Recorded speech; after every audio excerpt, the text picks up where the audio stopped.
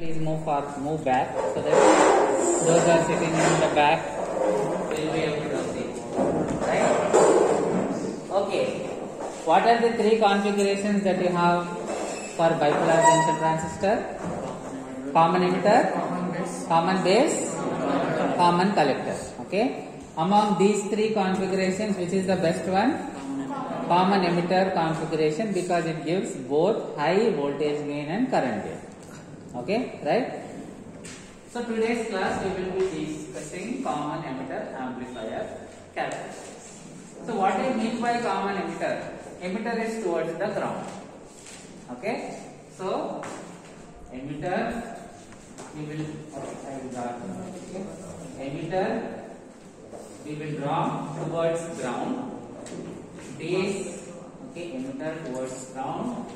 Base will be input collector will be output. Right? Fine. So here again the transistor itself will not act as amplifier. Okay? Right? You have to operate the transistor in active region.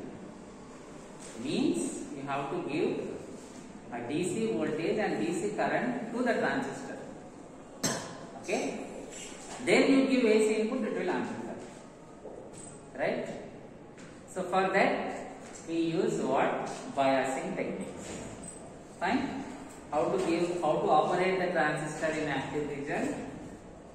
We do it by the help of biasing. What are the three biasing techniques? Fixed bias?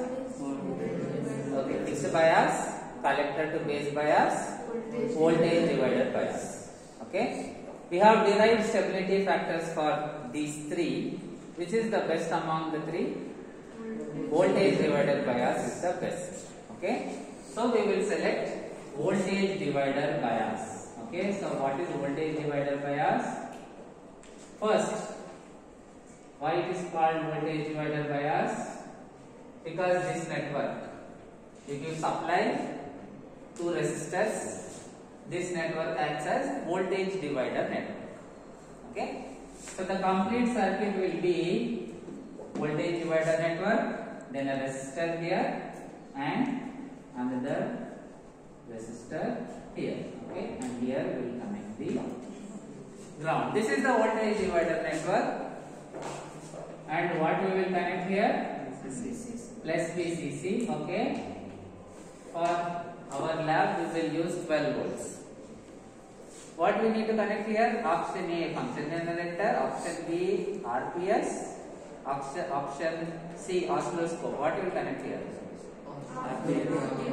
RPS. Okay, right? So this is RPS. Right? Okay. Now this is the voltage divider.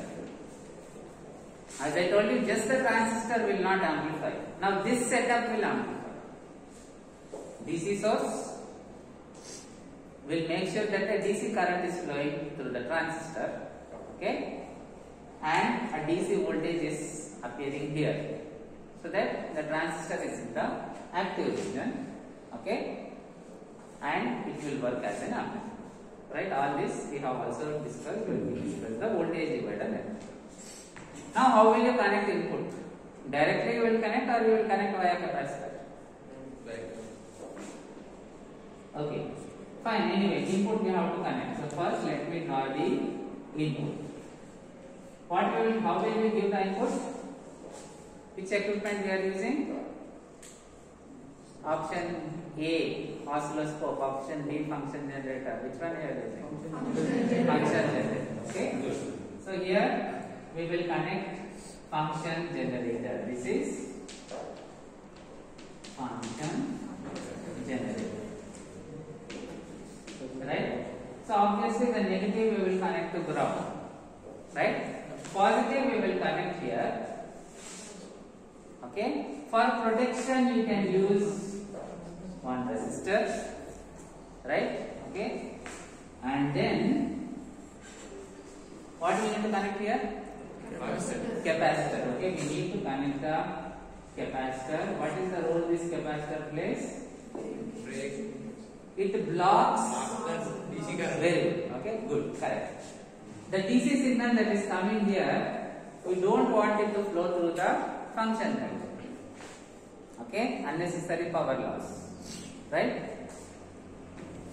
That is to block that DC, we are connecting this capacitor. Okay? Fine. Next, what we will connect here? Again, again we will connect another capacitor. We can call this as blocking capacitor CB1. This one I can call it as CB2, blocking capacitor. Then what? We will connect. Okay? Load. We will connect load. Right? Okay?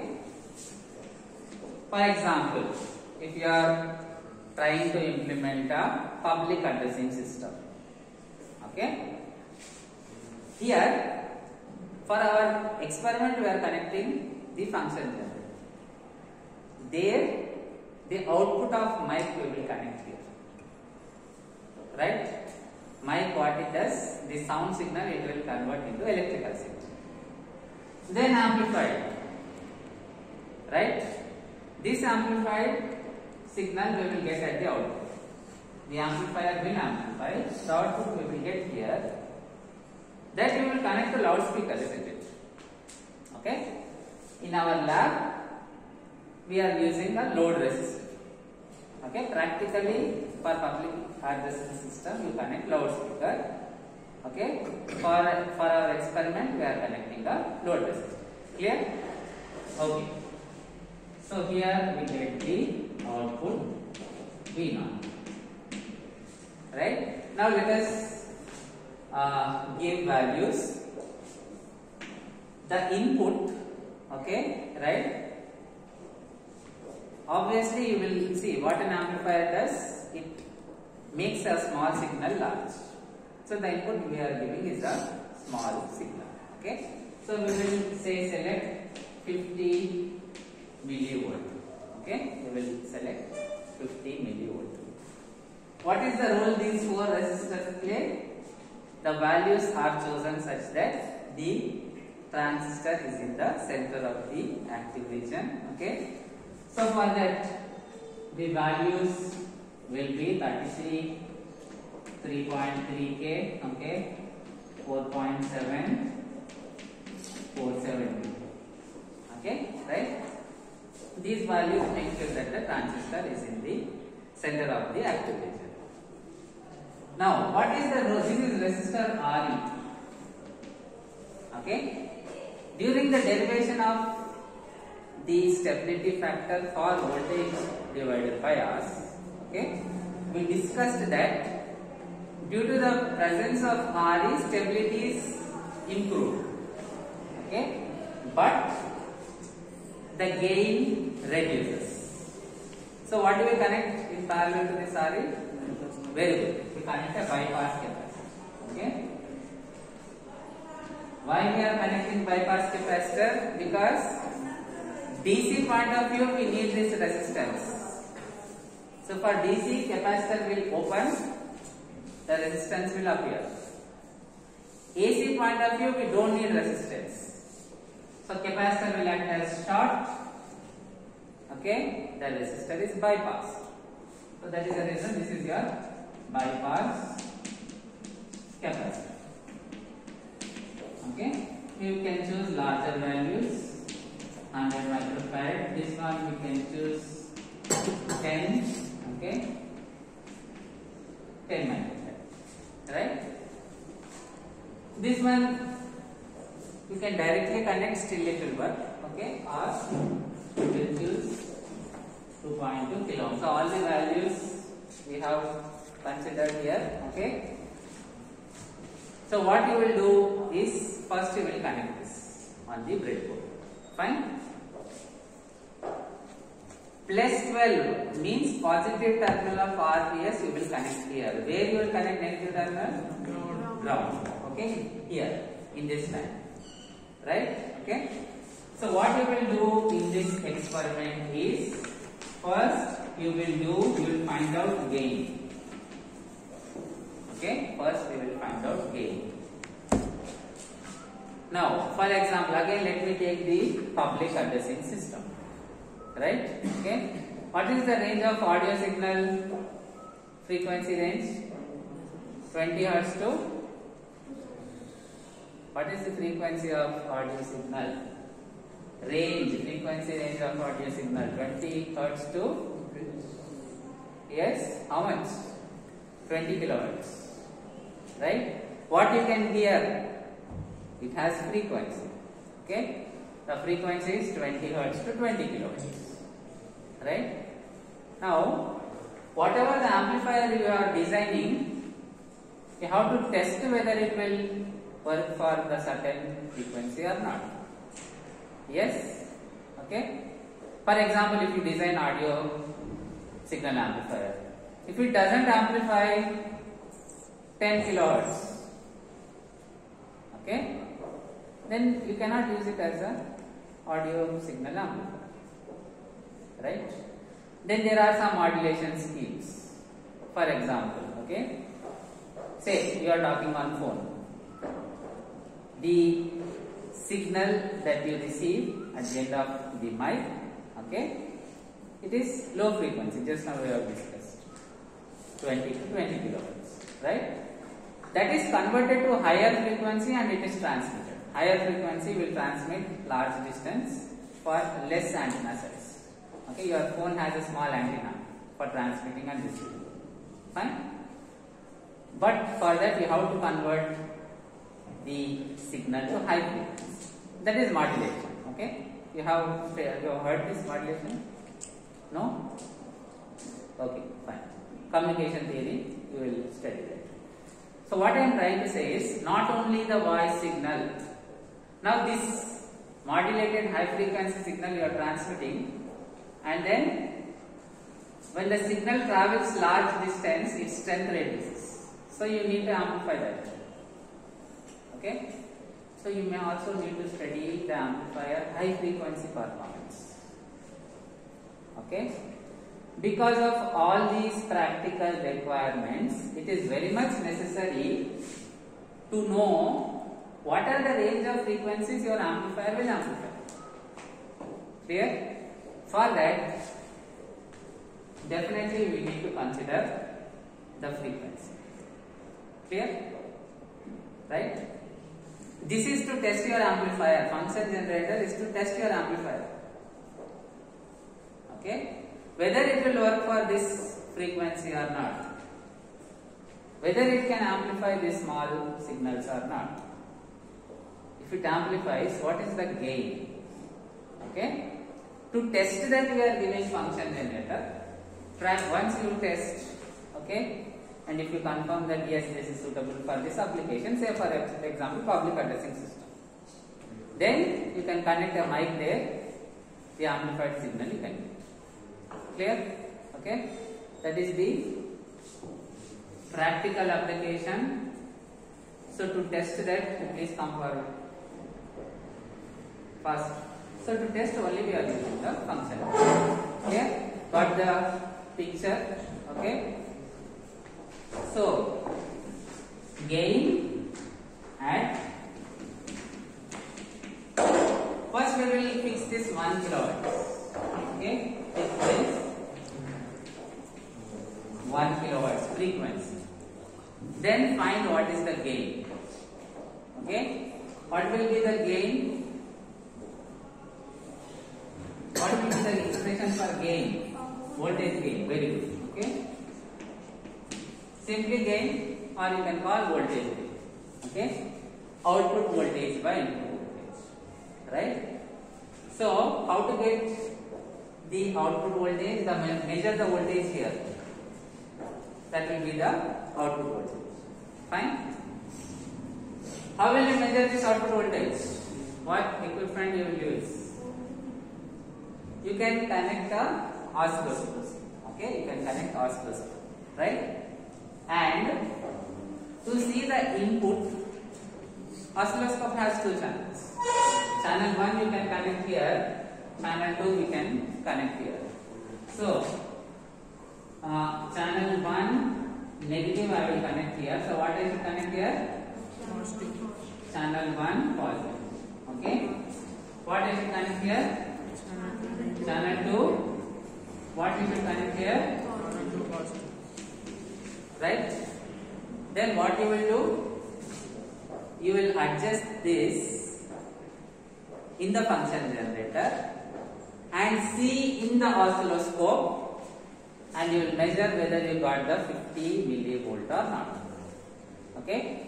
Once you set this to 50 millivolt again do not disturb this throughout the experiment. If you disturb this you will get wrong results. Okay? So keep this 50 so what will vi be what will vi be 50 millivolt okay? This is vi so this is 50 millivolt how to get v naught? Channel 2 of oscilloscope that you measure. That will give v naught okay? So v naught by vi will give you gain at 1 kilo. Okay? You simply call this as gain. What is the gain of the amplifier? V naught by va okay? Right? We will select a mid frequency 1 kilohertz right? Then next. See two things you have to find out. What is the gain of the amplifier this will be the gain of the amplifier. Next what are the range of frequencies that this particular amplifier amplifies? Okay? For that we go for frequency response.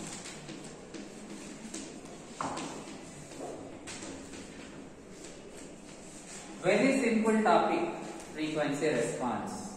Okay? What you do in frequency response? You change frequencies gradually for each frequency what is the gain you will find that's all. Okay? Right? So the table will be frequency right? Then to get gain first you have to find output okay? Then gain will be output by input okay? So how will you vary frequency here? You can start at 100 hertz okay? Then take 300 500 then 1000 okay? 1000 3000 5000 next next what what will be the sequence 100 300 500 ah 10000 okay 10000 1000 means you can represent by k k stands for 1000 this also you can write 1k k stands for 1000 clear okay so on up to do till 1 megahertz do it up to 1 megahertz shall I have to see okay then for each frequency what is the gain? Okay? For example keep it 100 what is v naught? Find out. Okay? That v naught by vi what is vi ah 50 millivolt we have said. That is not disturb so this one by 50 milli. So you will get all these points. So first keep this 100 hertz find out v naught v naught by 50 will give you gain at 100 next change is to 300 so on. Clear?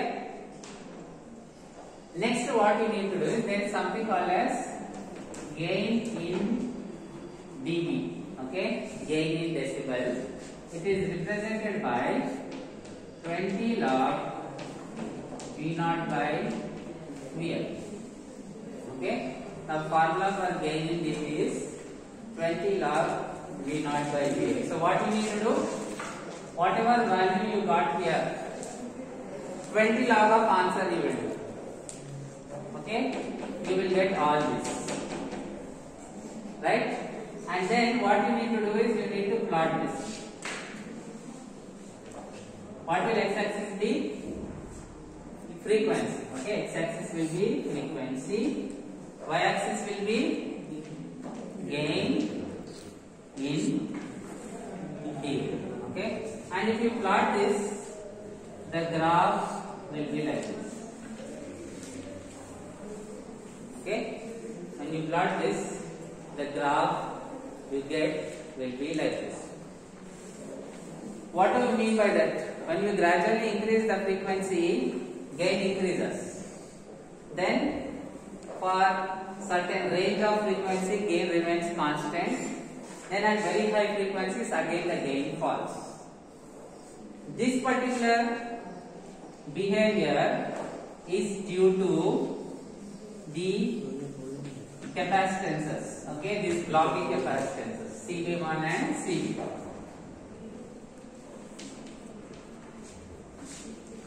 Capacitance blocks DC as well as low frequency also. Okay, so what it does is DC means zero frequency, right? So capacitor will block DC as well as zero frequency. So what happens? All the lower frequencies, the capacitor will resist. So the signal will not pass to the amplifier block. Okay. So what happens? The gain is lower. Then for sufficiently large frequencies, the capacitors will allow. Okay, that is the reason you are getting, highest maximum gain. Then at very high frequencies, we have discussed. Okay, we have discussed this transition capacitance, diffusion capacitance. Right? Ultimately, what the BJT has, it has PN junctions. So the junction capacitors will come into picture. Okay. So this fall in gain is due to junction capacitance.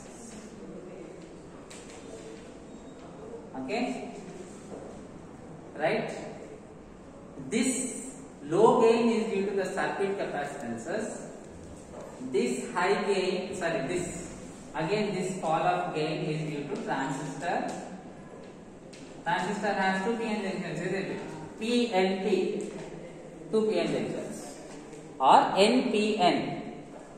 Between the three regions, we have two junctions. Those junction capacitance are responsible for this low gain and high frequency. Clear? Then what we need to do here is find out what is the maximum gain. Okay? Maximum gain minus 3 dB you do. maximum gain minus 3 dB. There, draw a line parallel to x-axis. Where this dotted line intersects the graph, those two points will be the cutoff frequency f1, f2. Okay. Last point I will write here. So bandwidth will be f2 minus f1. Higher cutoff frequency minus lower cutoff frequency will the bandwidth. What do I mean by minus 3 dB? Suppose if this is okay. Suppose if this point is uh, let me write here. Say 42 dB. And what will this point be? Yes, ah, 39 this point will be 39 dB. That is the meaning of minus 3 dB. Okay. So this is what we have to do. Whatever the maximum gain, minus 3. Maximum if you get 42 suppose. 42 minus 3, 39. Clear? Okay. So for this experiment point of view, what you will do, you will connect this. First find gain. Okay. So obviously there is some frequency out to set. Mid frequency, somewhere in the middle we are taking where the gain is constant.